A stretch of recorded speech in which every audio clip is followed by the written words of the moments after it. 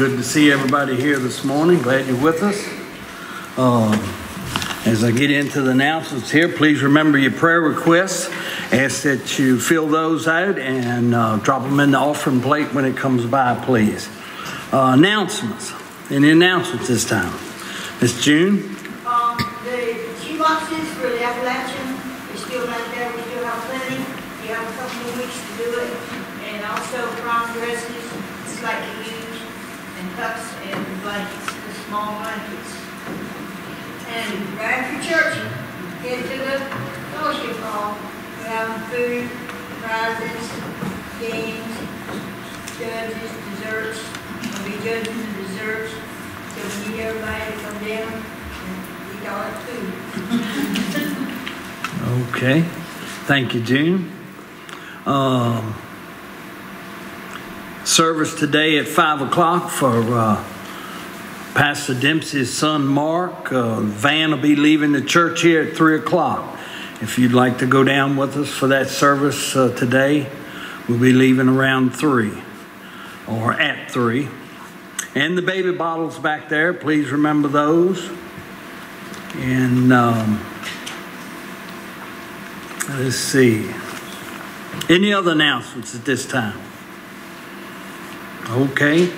Well, uh, if nothing else at this time, let's just take a couple minutes, hand of fellowship, and um, greet somebody this morning.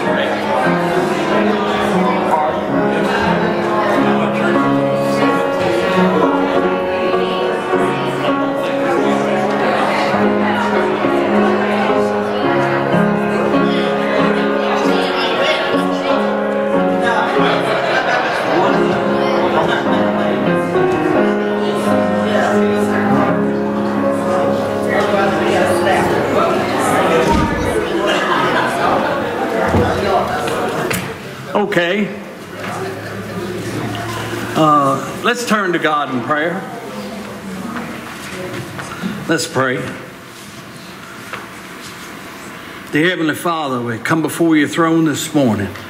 Lord, uh, we just thank you for the wonderful day you give us, and we just thank you for all the blessings of life. Lord, we thank you for all that you do for us. There's been loss here with within our members. We just ask you to touch each one of those families. We lift them up. Father, we pray your Holy Spirit down that it would move here this morning and that each person that has a part here today, um, that it'll all be about lifting up your son Jesus and about the love that he had for each one of us. We thank you so much for all that you do. And Lord, we just uh, lift this up in Jesus' name. Amen.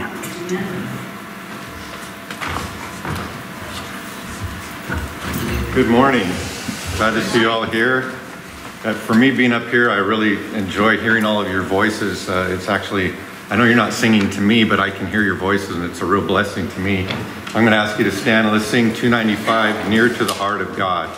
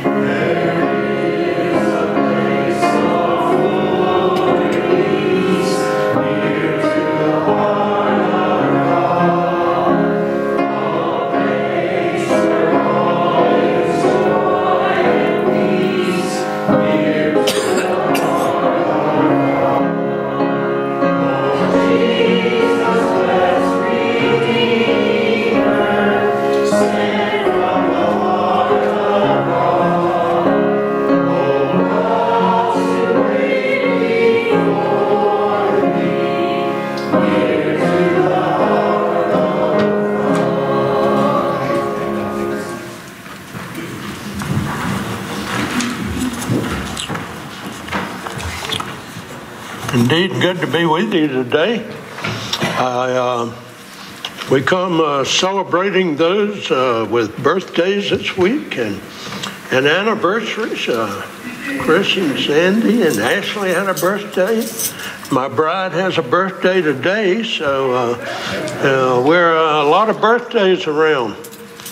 Yeah, I was looking in the back of the calendar, a lot of a lot of birthdays.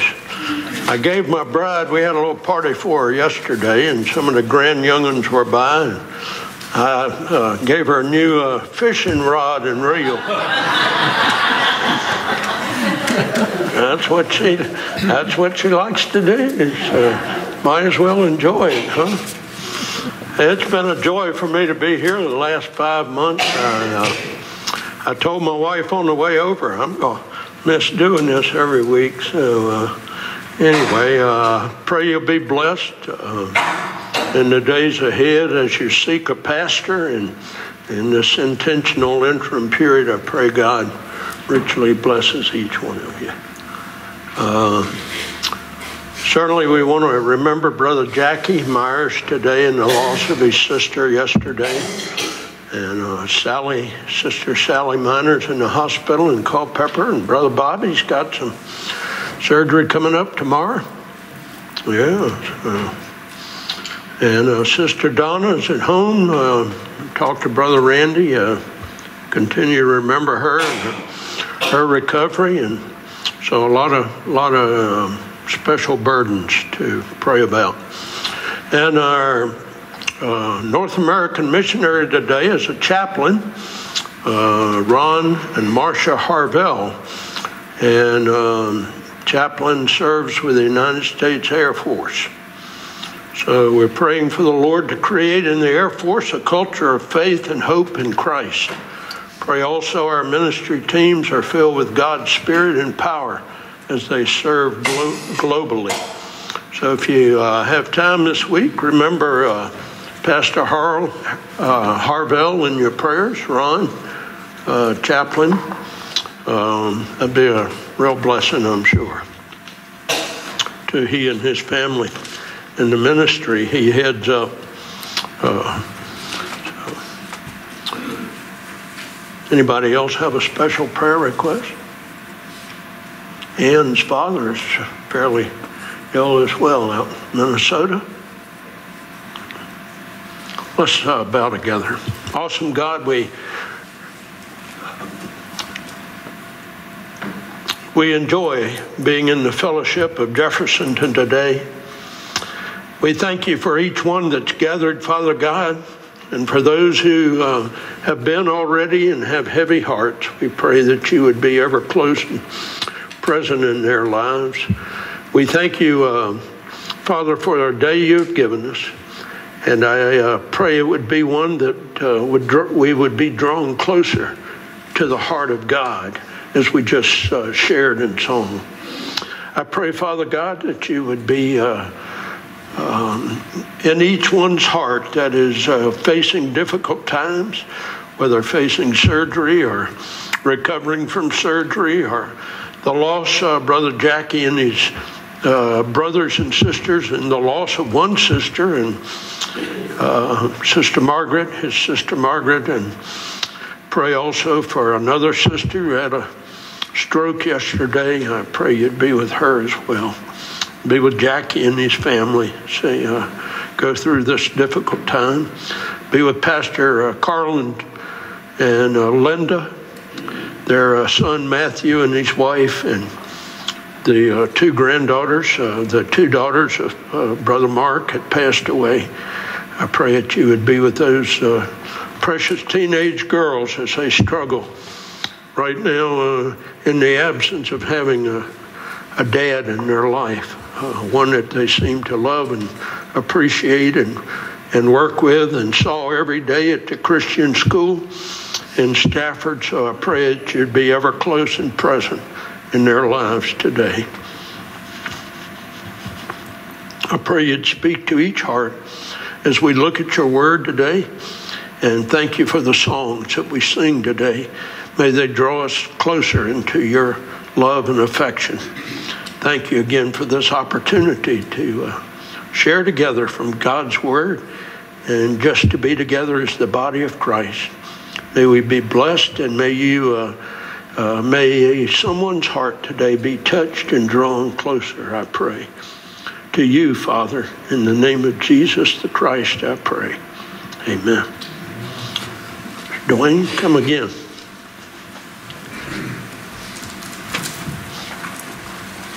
Another favorite I think most of you probably enjoy Holy, Holy, Holy, page two. We're going to sing the first, second, and the fourth verse. And on the fourth verse, we're just going to sing with just our voices, no piano. And Judy's going to help us out there.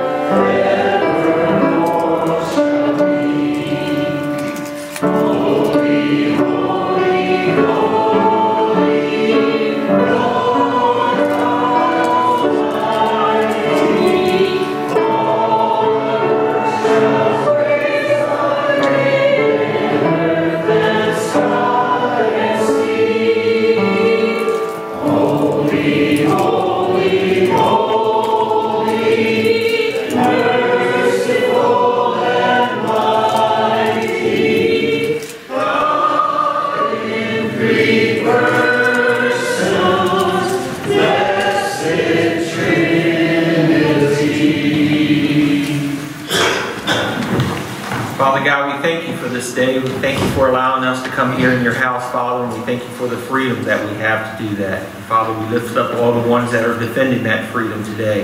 And Father, we uh, also lift up the ones that are unable to be here today for whatever the reason may be. Father, we just lift them in prayer to you.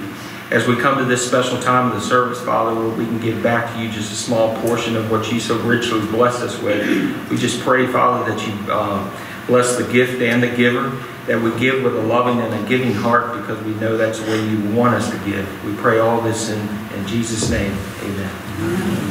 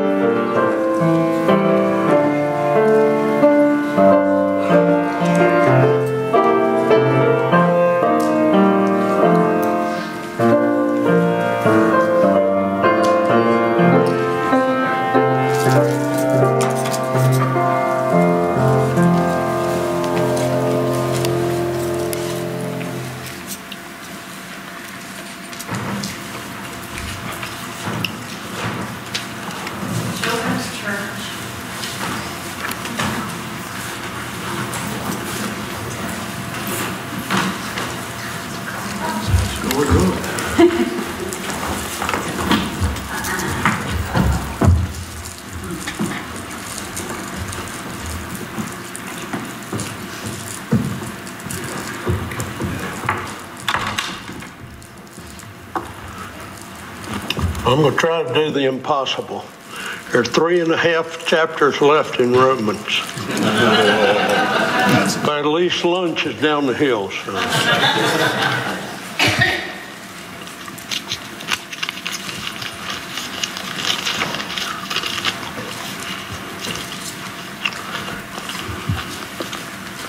If you have your Bibles, we are going to pick up in chapter 13 where we finished last week at uh, verse 7. And we're going to pick up in verse 8. Now, I'm not going to read all those uh, three and a half chapters to begin with, but I will comment on a number of verses as we uh, march through together. And I want to present uh, Stephanie at the end and um, have her and Kevin. Uh, Brandon's not here because of the passing of his aunt, but uh, we'll have them stand at the, back there by the door. As you go out, you can uh, extend to them the right hand of Christian fellowship at the end. We didn't do that last week because they were soaking wet. So we'll do that today.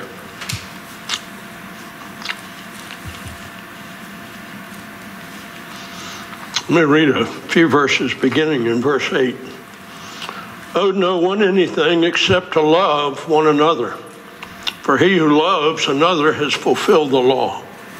For the commandments, you shall not commit adultery, you shall not murder, you shall not steal, you shall not bear false witness, you shall not covet. If there are any other commandments, all are summed up in this saying, namely, you shall love your neighbor as yourself. Love does no harm to a neighbor. Therefore, love is the fulfillment of the law. Do this knowing the time that it is now high time to awake out of sleep. For now our salvation is nearer than we first believed.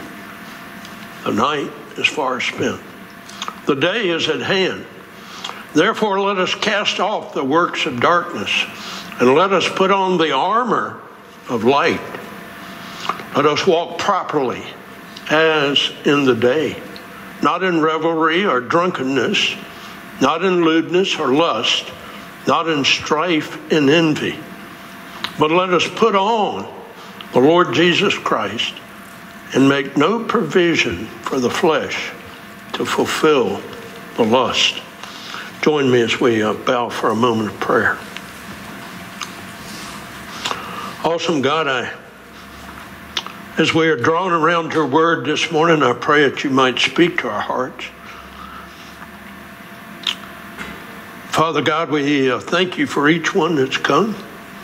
And I pray that uh, the words that uh, we hear from your word would penetrate deep into our heart and not only would we be hearers today of the word, but we would be doers of the word. Thank you again for your awesome love for us. That you have so uh, marvelously shared with us through your Son, Jesus Christ, who gave his life that we might have life was willing to die on an old rugged cross to take my sin and the sin of this world, that he might forgive us of our sin and cleanse us our heart. Thank you, Father, for the promises that we have in you. Now I pray, Father God, that uh, you would just, uh, your Holy Spirit right now would. Uh, bear witness with our spirit. And to those who are children of God, I pray your spirit would encourage and challenge and draw close to you. And to those who need to trust you as your Savior, their Savior, I pray they'd have that courage and boldness to do so. We pray these things in the blessed name of Jesus the Christ. Amen. Still uh, ringing in my ear from a few years back, I can hear my drill instructor, or sometimes I would say it after I got up a few. He would say, Attention! Forward! Well, that's my prayer. My prayer is you will march forward from this place. I pray. Uh, last week I, I did what I normally do when I go to a church field. I, I did what I uh, call a windshield survey. I drove within a four mile radius of this church. This place ought to be packed. This place ought to be packed with a number of homes that are around here. My gracious, what a mission field. We ought to be not sitting here in a fortress of four walls but we ought to be claiming the frontier for Christ. That's the mission. That's the goal. That's what is mentioned in our text this morning as well as we look together. So, first of all, I want you to think about there are certain distinctives, unique distinctives, as a child of God that we should follow as we see in, in uh, the latter part of chapter 13 there in verses 8 through 14. And then there are always unending differences that seem to separate us as Baptists. For whatever reason, uh, it seems always there are some kind of differences, as there was at the church in Rome. Well, there was quite a combination there. They had some uh, some uh, Jews there, they had Greeks there, and they had a few Gentiles there. So the church was made up with all different kinds of people from all kinds of backgrounds, just like the church is today. We all have a, a little different, different understanding. But there should also be a devotion in our lives, a devotion to Christ and to His church. So I want us to think about these together uh, over the next little bit. Uh, first of all, there are unique distinctives that believers should practice, as we see. And uh, I'm going to use my training from the police academy for a moment. Uh, when I came along in Virginia, there was only one police academy, and it was a state police academy. So every, uh, whether you were a, a, city policeman like I was, or whether you were uh, in a sheriff's department, or whether you were going through state trooper school, um, they all met at the same place in Richmond. uh, now they're uh, different entities, uh, different schools um, for different kinds of training. But uh, back then, that's been a couple of years ago uh, that I was in law enforcement. But we always ask some questions, and that's what I want to ask this morning. How, first of all, God shows us in verses 8 and 9 how we are to love. He sets forth his standard, if you will. He says, Oh, no one anything but to love one another. And he shows us what we should avoid then. He shows us how we are to love. His standard is in verse 9. How do we love one another? We do not commit adultery. We do not murder. We do not steal. We do not bear false witness. I'm sure you heard about the lady that came forward one Sunday morning and she told the preacher, she said, I want to lay my tongue on the altar. He said, Dear, it isn't long enough. Oh, you'll get that later. Maybe you'll never get it. And it's all right. But sometimes we bear false witness when we shouldn't bear false witness. Huh? Sometimes our, our tongue says way more than the fact. You shall not covet.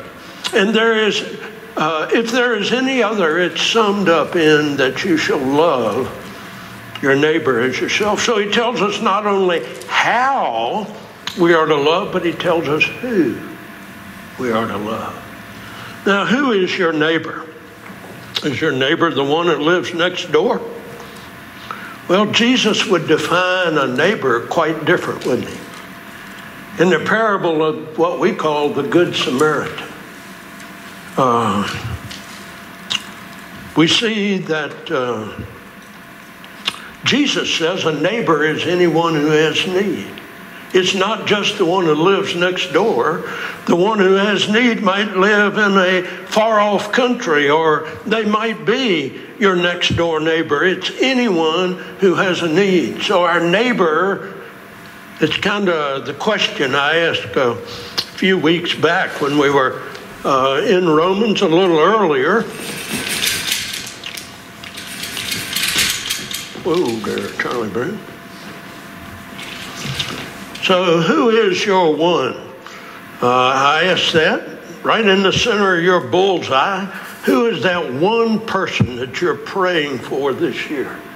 Remember, I uh, asked that one Sunday. I passed all of you out a little card at who's my who's my one? Who am I who am I searching for this year that I could see come to know Jesus Christ as a Savior? And uh, maybe you've already seen that. Maybe your number one's already come to faith. I remember at the door when one of our uh, precious little ladies walked out, she said, Do I just have to have one? Because I got a whole list that I'd like to see come to know Christ. No, you don't have to have one, but sometimes we think of so many folks that we forget the one we need to bring and see come to know faith, to faith in Christ. So who's your one? Who is your neighbor? Who has the greatest need that you know? And then not only how we're to love and who we're to love, but why. In verses 11 through 14, Christ tells us why we are to love. And first of all, he says we are to cast off. Notice that. He tells us to cast off certain things here in verse 12. The night is far spent, the day is at hand. Therefore, let us cast off the works of darkness and let us put on the armor of light. So he talks about uh, in verse 13 about five more things that we should cast off. We've already read about several in verse 9, commands of the Lord, but now he tells us uh, five more things we're to cast off so we can walk properly as in the day.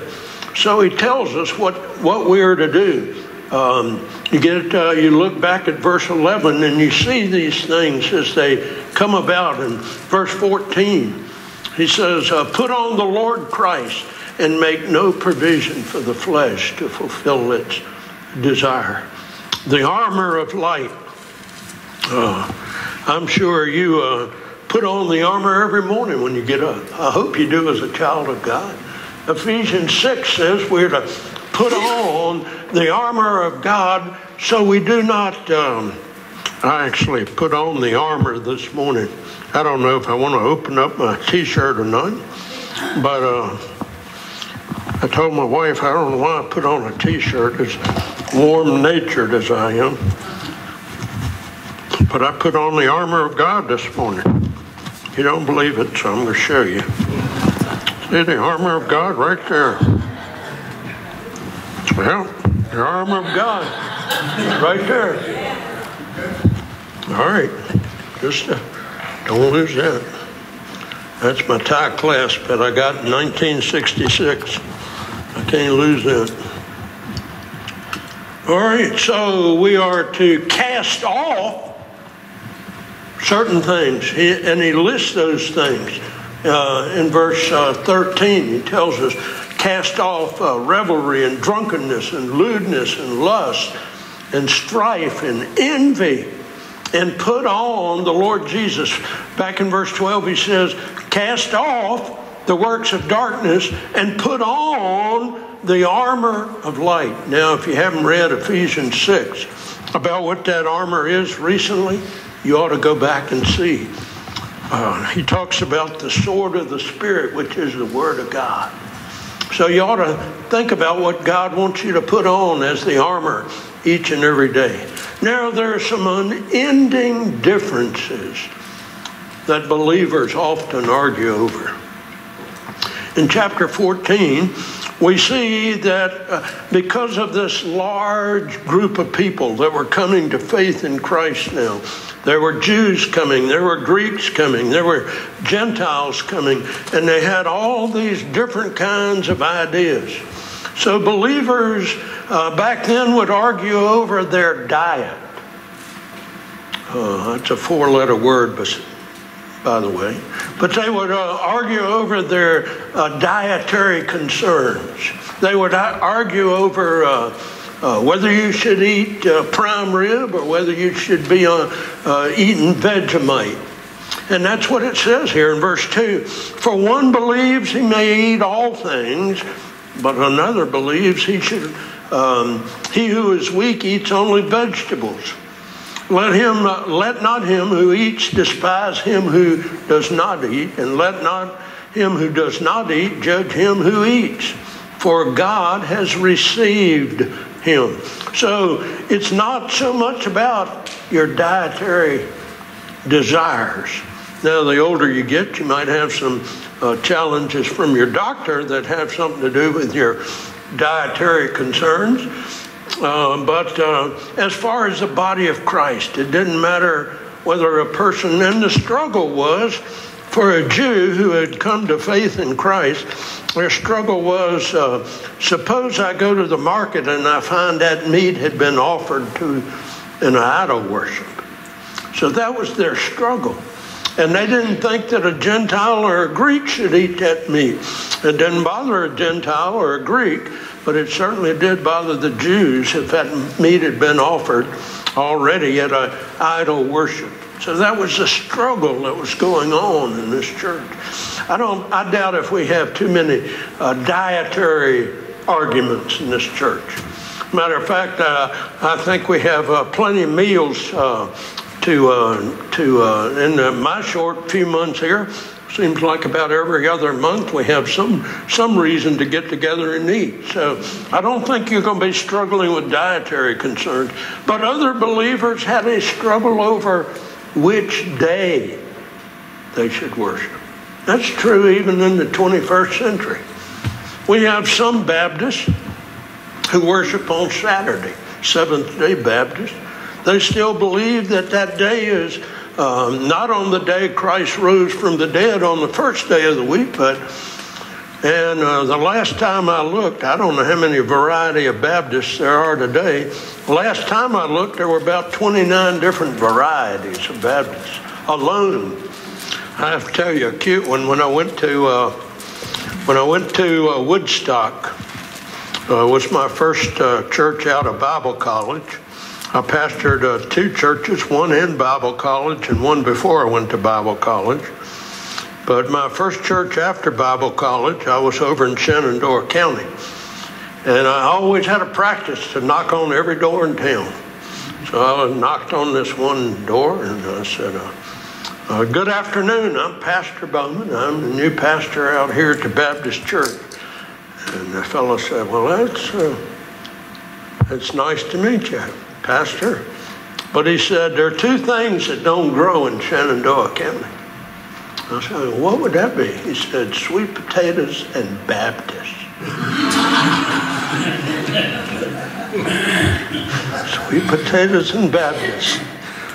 Well, there were 116 Lutheran churches at the present time in Shenandoah County. Well, at that time, I don't know how many there are today. Most of them were very small community churches. Of course, it was predominantly German settled down the valley there, but uh, I always found that interesting. So I told him, uh, then I asked, I said, Can I pray for you? He said, uh, "No, I don't. I don't. I don't know that a Baptist. Uh, I'd want a Baptist prayer." Okay, I'm, I'm gone. Thank you don't want a Baptist prayer. I hope it's not a Baptist prayer anyway. But anyway, anyway, so there was a struggle over which day of the week to worship. Some worship still on the Sabbath. The Jews thought the Sabbath, but the new believers wanted to uh, share on the first day of the week, kind of like uh, 1 Corinthians. Chapter 16 says we should bring our offering on the first day of the week. So, uh, uh, many places in the New Testament after the resurrection, it talks about them worshiping on the Lord's day or the first day of the week. But it was uh, the day shouldn't matter, the diet shouldn't matter. It should be all about our devotion to Christ our Lord. As uh, we look in chapter 14, look at verse 7 then. It says, For none of us lives to himself, and no one dies to himself. For if we live, we live to the Lord. If we die, we die to the Lord.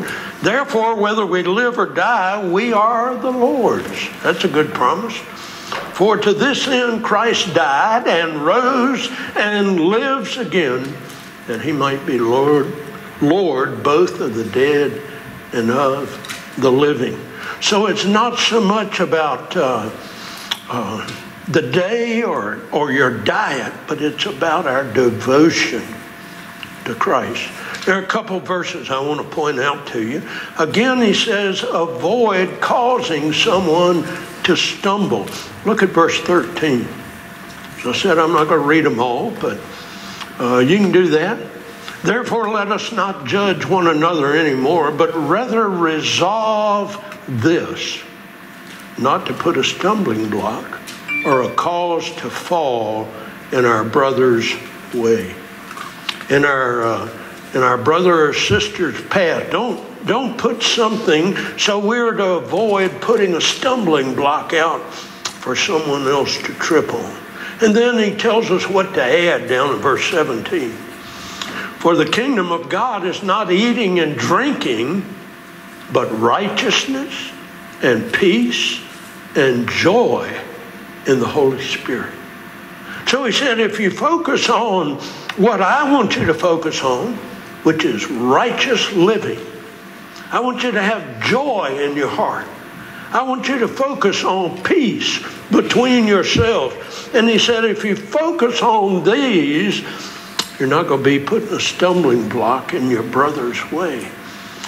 Notice verse 18, it says, For he who serves Christ in these things is acceptable to God and approved by men. Well, I really wanted to get to point three.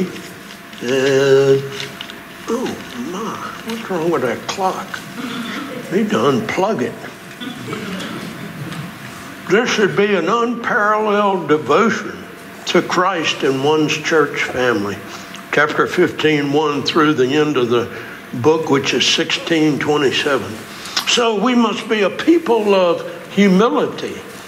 It says in the opening verses here of chapter 15.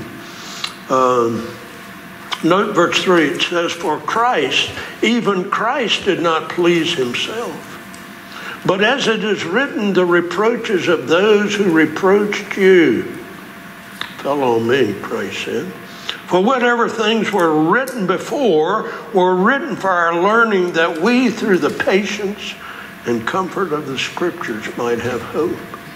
Now may the God of patience and comfort grant you to be like minded toward one another, according to Christ Jesus, that you may be with one mind and one mouth, that you may glorify the God and Father of our Lord Jesus Christ. So he calls us to be a people of humility, but he also calls us to be a people who glorifies the Lord Jesus Christ. He says, with one mind and one mouth, we should lift our voices in praise and thanksgiving to God.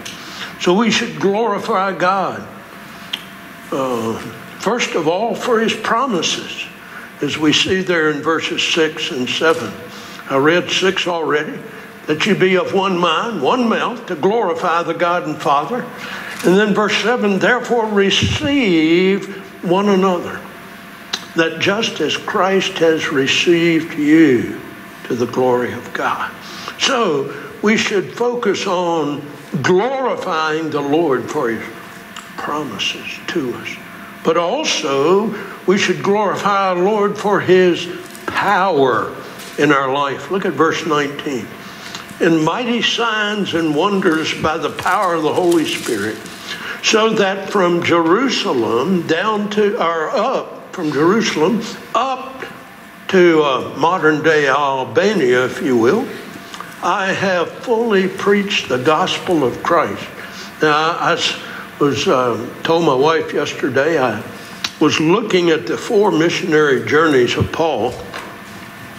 This last missionary journey, I'm going to give you a history lesson now. But he went from uh, Jerusalem. Oh, uh, by the way, this is the area that God gave to the children of Israel when he gave it to Abraham from the great river of the Euphrates all the way over to the, the great river of Egypt, Nile. So uh, I don't know why uh, the president hadn't got on board with God's plan for what belongs to him. Part of Saudi Arabia, most of Syria, uh, uh all of Jordan.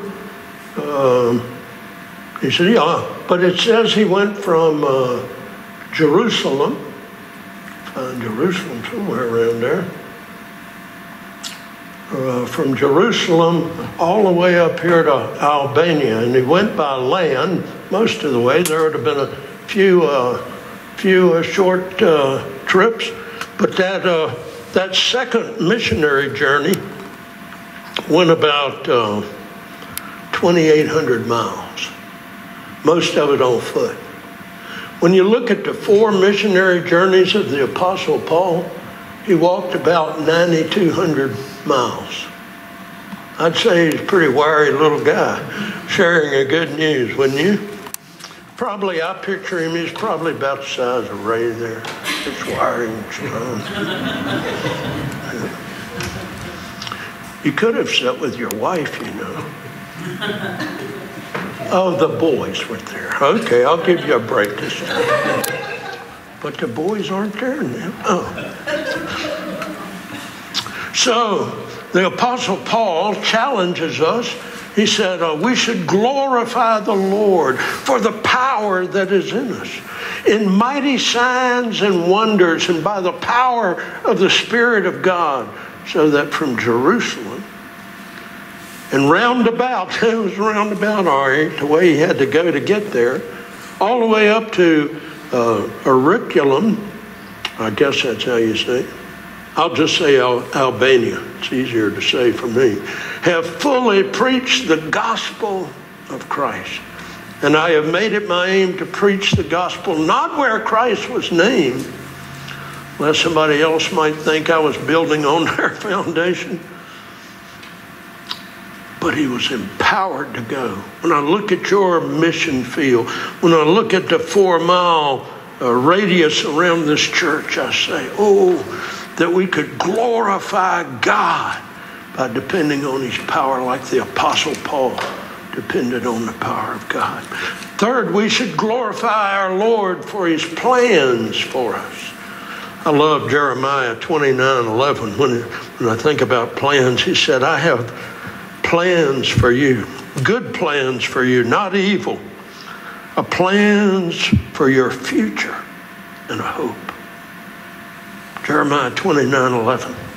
But here we see he has plans plans for the mission of the apostles, plans for your mission and mine. Note verse 25. But now I am going to Jerusalem to serve the saints. He said, I'm going over there to serve those who have already come to know Jesus Christ as his Savior. Sometimes, and most of your, all of your uh, windows are uh, pictures related to the life of Christ. But a lot of churches uh, that I've been in, they have a saint, Saint Paul or Saint somebody or Saint somebody else. I went in this. Uh, I thought it was. Uh, it had uh, something about uh, Christ is King. Bookstore in Fredericksburg. It's the only bookstore left in Fredericksburg. But when I got inside, all they had were Saint this and Saint that and Saint something else. And it wasn't quite what I was looking for. Anyway, uh, the Bible says every child of God is a saint. You're a saint. Uh, uh, I am some days. Some days I don't act like it, probably, but uh, uh we're all blood washed children of the King of Kings. And he says, I am going there. I'm going back to Jerusalem. He left from Jerusalem, went all the way up on this journey to Al- as far north as Albania, made his way back. But he said, Now I'm going back to Jerusalem and I'm going to serve the saints. Wow. So, what is your mission? That's what I want to talk about now. We should glorify God for our partnership in the gospel. I don't know how, how if you've read chapter 16 or not lately of the book of Romans, but the apostle here, under the inspiration of God's Spirit, talks about 38 different folks that he shared ministry with. 38 different folks in chapter 16. Uh, 38 individuals that had a great impact on his life for sharing the gospel. So we're all engaged in a partnership. That's what a church is. We're in a partnership with one another uh, to, to grow in Christ, yeah, but also in a partnership to go to grow, but to go. That's the, the role of Sunday school. And I like to challenge deacons that here.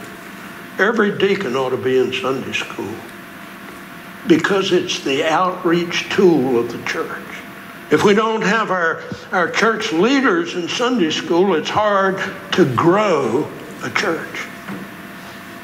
So he says we are to, uh, first of all, in verses 1 through 7 of chapter 16, he said, we are gifted to serve. So the question is, will we serve? But that's why he has gifted us. Note verse 1, he, he starts right off. I commend to you Phoebe, my sister, who is a servant of the church. I, uh, verse 3, I greet uh, Priscilla and her husband Aquila my fellow workers in Christ Jesus who risk their own necks for my life, to whom not only I give thanks, but also all the churches of the Gentiles. Really, all the churches in Asia should give thanks to this couple. So he says we have a partnership. We are gifted. Uh, Brother Durrell a few weeks ago, and then for a couple Sundays, I, I, I preached on the gifts. Everybody has a, a gift of the Spirit. Maybe you have the gift of giving or teaching or exhorting or showing mercy or whatever your gift might be. We all have a gift. God doesn't expect us to sit on our gift. He expects us to use it for His glory. That's where you're supposed to say amen. Amen. Now, Pastor Carlin isn't going to let you off. I can tell you, he's going to want you to be doing a lot of amen, and he'll tell you when to amen. All right? And 17 through 20, he said, not only are we gifted to serve, but he said, we need to guard what we believe. I urge you, brethren, verse 17, note those who cause division and offense in the church, contrary to the doctrine you have learned, and avoid them. When they knock on your door, avoid them. Pastor Carlin says when the Jehovah's Witness knock on his door, he sends them down to my house. nice, nice neighbor. Nice neighbor.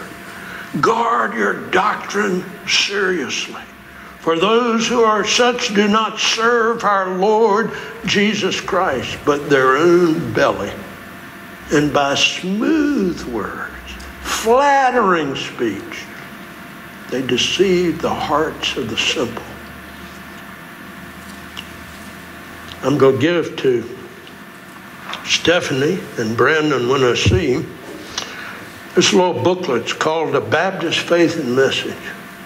Every church member ought to have a copy, Brother Randy. They uh, might cost you uh, this one about 20 cents a piece. But it has uh, the major illustrative of the doctrines we believe. There are about 18 different uh, thoughts in here with hundreds and hundreds of verses of scripture of why we believe them. There are 18, he even talks about the family, the church, the purpose of God's grace.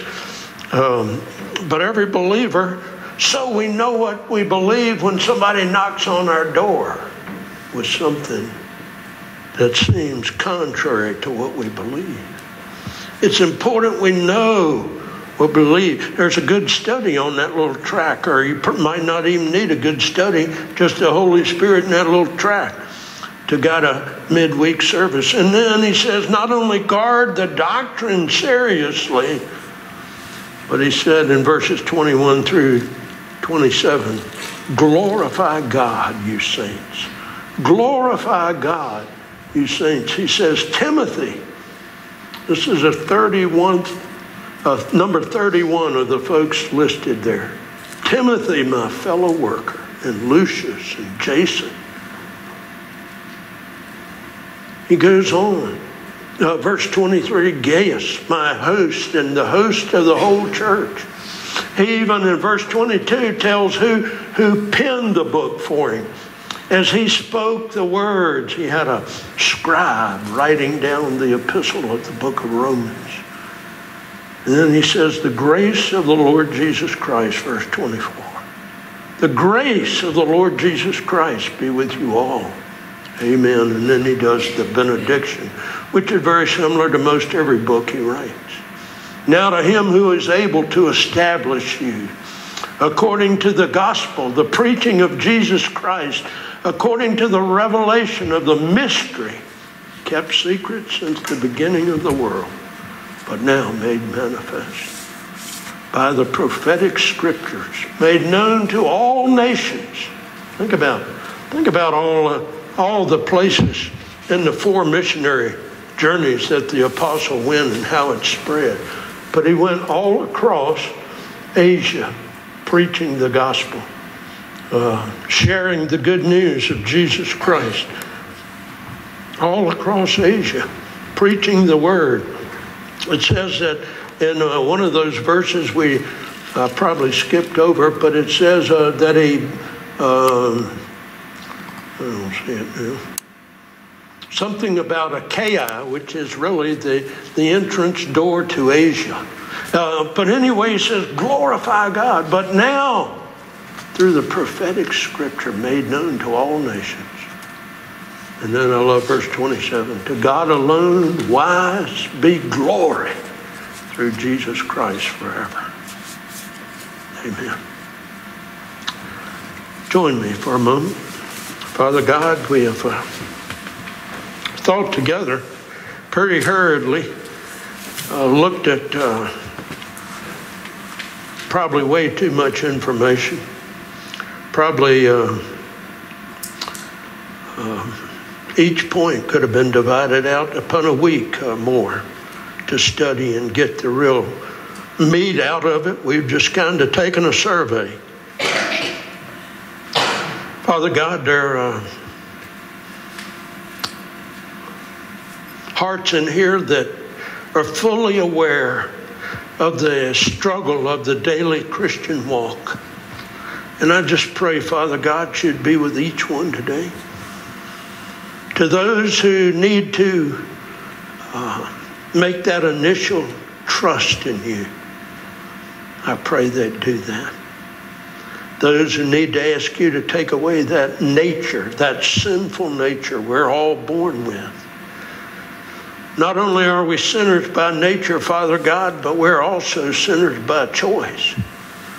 The Bible says if we know to do right and we choose not to do it, it's a sin.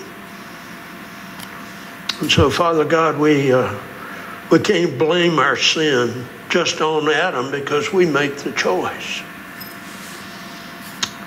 And if there are one here or more that need to trust you, I pray they do that today. That'd be the greatest going away present I could, any pastor could have. And Father God, I pray also for the Christians, the saints. And I pray we would not sit here in a in the fortress. I pray, Father God, we'd lift, lift up our eyes as as Jesus challenged us lift up your eyes and look at the fields, for they are already, uh, they are ready already for harvest. They're white, probably past time. Homes everywhere around this, on the frontier. Help us not to sit in the fortress, but help us to lift up our eyes and you tell us in that same scripture, Lord, to pray for laborers. Pray for those willing to go to the harvest. I pray for the leadership here, Lord.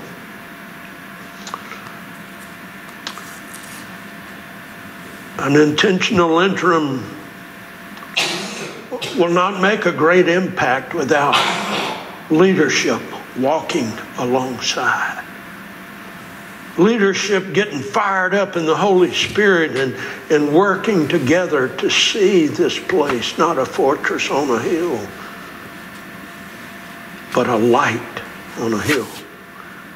Takes me back to Christmas Eve when we all stood out on the porch with little candles a flickering and thought about sharing that light on a hill from a hill.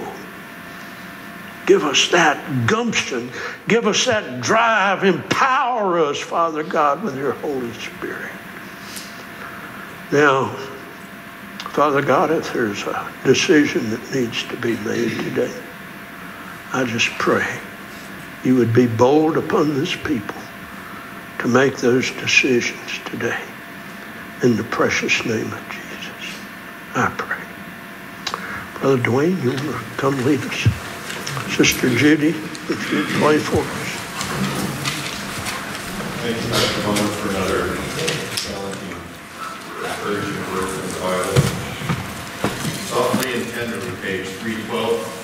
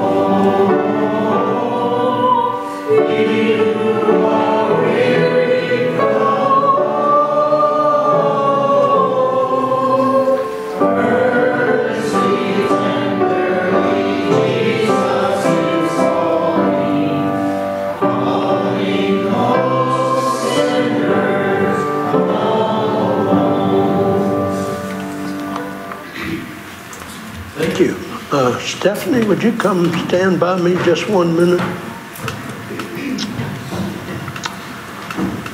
Uh, Stephanie Groot uh, came several, um, couple or three months back now, too long ago, before we got to baptize her, and uh, gave her life to Christ and um, followed through last Sunday in baptism. And I'd like to present her as a church. If you're would like to receive her into our church family, would you say amen? Amen. Those opposed? Amen. God bless you. Welcome. And we'll, uh, I want you to have that. And uh, we'll do Brandon, uh, Brother Randy, y'all make sure you do Brandon when he's here. And Kevin, would you come down and stand with right here at the back? Kevin came as well last week uh, on a renew a renewal of his faith and revival in his heart. Wanted to be baptized. We did that. So if you'd stand at the back there, and Stephanie, um, or the front. It's a front door, but it's a back. Too much for my peanut mind. Let's uh, remember uh, Brother Bobby tomorrow. And uh, the doctor and his precious wife. Awesome God that you are, we uh, thank, thank you for the day. Uh, I've enjoyed, I've loved coming over here, love the people. I enjoyed it 10 years ago. I enjoyed it this time, Lord. I, I guess you say you enjoy I hope people enjoy coming to the house of the Lord. I enjoy opening the Word every time I get a chance. I pray we have grown, Father. I pray most of all we have grown to love each other again. And there would uh, not be a division again that would uh, separate this body, save if it was something doctrinal. But I pray we're ready to march forward, Lord. I pray we're ready to claim Uh, growing together as the body of Christ here and reaching our mission field for you. You've charged us. You have commanded us to make disciples. You didn't say, I want you to go and make disciples if you feel like it. You said, as you are going, therefore, make disciples. As you go to the grocery store, the gas station, or the country club, or wherever you go, make disciples. Father God, that's a powerful command. May we be obedient to do what you've commanded us to do. Be with us now. Help us to enjoy our lunch. We pray you'd bless the food to our body. We pray we'd be strengthened by it. We pray we would enjoy the fellowship around the table. Thank you again for your awesome love for us. Pray that you'd uh, be with Mr. Bobby tomorrow. Well, be with the doctor, I pray. Guard his uh, uh, mind and guide his hands. I pray from Sister Bobby that you would be with her. Just give her a, uh, Sister Barbara a peace about what's going on. And, and I pray for a good recovery for my brother. Thank you, Lord, for your awesome love. Go with us now. Help us enjoy our uh, fellowship together around the tables. We pray in the blessed name of Jesus the Christ. Amen. Amen.